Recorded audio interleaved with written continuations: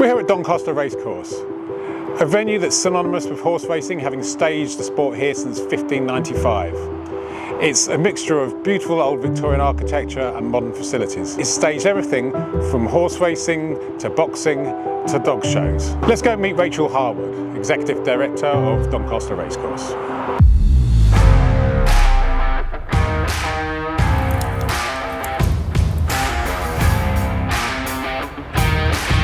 So I'm Rachel Harwood, the Executive Director of Doncaster Racecourse. I joined at the beginning of the pandemic back in 2020.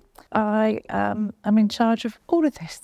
Obviously, there are a few racecourses in the UK, if not the world, particularly, that, that can compare in terms of the history that um, Doncaster Racecourse has. I mean, I was sort of this morning having breakfast and looking over at the old Victorian um, structure there. It's absolutely gorgeous. I mean, how do you make sure that this building still retains that kind of position at the heart of horse racing? Uh, well, the home is flat, the traditional flat season. So we start the flat season with the Lincoln in March, and we end with the November handicap. Oddly enough, in November. Um, so the traditional home of flat racing, uh, and we have the world's oldest classic, which is St Leger, and we have memorabilia and the history of the race and all the horses that have run in it, sort of uh, dotted around the racecourse. So it's a stunning setting, it's a stunning um, structure or structures.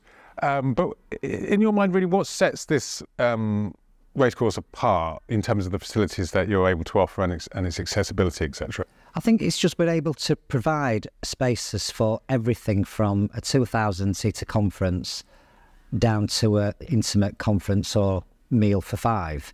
You know, the space we have available, the, the rooms can be breakout rooms, there can be large banqueting suites, there can be restaurants we can lay out marquees on the lawns. We have the space to do what we can do here.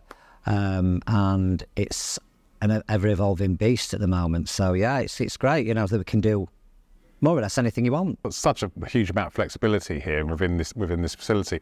But can you talk me through some of the main spaces and what the capacities are um, in those in those spaces? Yep. So they, they, obviously the main one we have is our exhibition hall, located on the ground floor.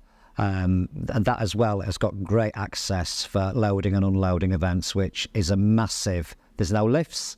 It's just straight in, straight out, really simple. Uh, that would be a conference for 1600 to 2000, dinners up to 13, 1400. Boxing match we have for like that, we can do 1200 on those. Um, yeah, and then it's used as a race day area as well. So it is a really flexible space. All the main suites, except the exhibition hall, are all track facing.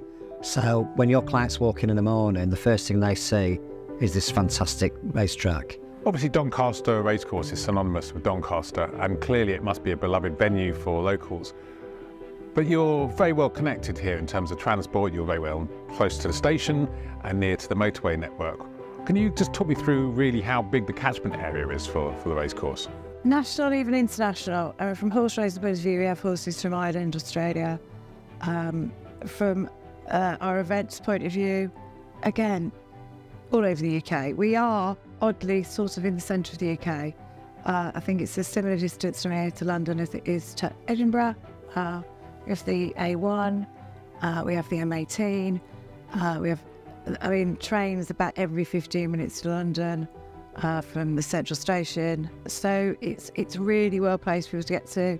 We're surrounded by a massive logistics centre in terms of there's, there's so many companies around us that because it is so central to the UK.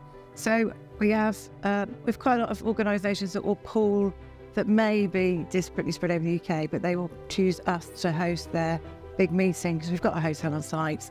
Everyone's kind of going to have sort of an equal travel distance um, and it's easy to get in and out of Doncaster. This location has been staging horse racing since 1595. So obviously the history of horse racing here is long and impressive.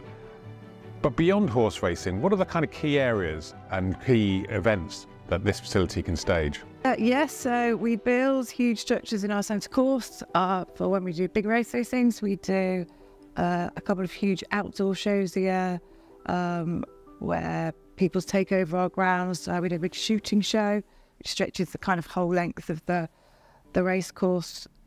Uh, we ourselves produce music events. Um, so yeah, it's, it's it really depends on how far you want to push your imagination as to what you can do. So my name's Emma Cassidy. I'm head chef North, and as part of my responsibility, I look after Doncaster Racecourse and all the kitchens here at site, alongside with uh, a team of three other um, chefs on a permanent role. You know, what's the busiest day for you? Well, How big does it get in terms of the, the scale of the operation? Uh, last weekend we had 1,400 uh, of their staff here for Christmas uh, party night last Saturday. We have racing today where we've got hospitalities pretty full, uh, both in the main stand that we're sat in now, the Leger stand, and uh, we expect hopefully the bars and retail to be uh, very healthy and busy as well today. Um, we're looking at meals today uh, in the round of about 2,000, 2,200 meals just today, both in the race day hospitality and then with the addition of 821 people for dinner tonight. What would you think makes this, this, this venue special? What makes it special? Um, I think the, the, the site itself, it, it's a very, very impressive site in terms of the scale when you see this, the main stand that we're currently sat in. Um, we have the addition of the hotel, uh, the green space, the lawn space beside us with the, beau- the beauty of the Victorian, the original stand. But what really makes it for me is the, uh, the people and the, my work colleagues who work behind the scenes and front of house with customers and everything. Um, that's what makes it for me.